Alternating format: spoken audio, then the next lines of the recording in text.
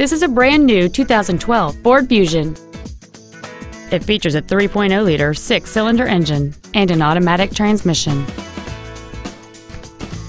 Its top features include a navigation system, heated front seats, a low tire pressure indicator, 100% commercial-free Sirius satellite radio, aluminum wheels, and traction control and stability control systems.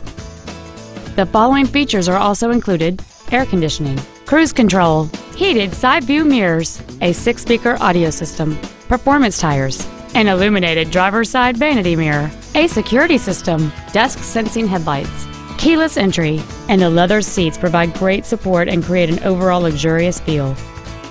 This automobile won't last long at this price. Call and arrange a test drive now.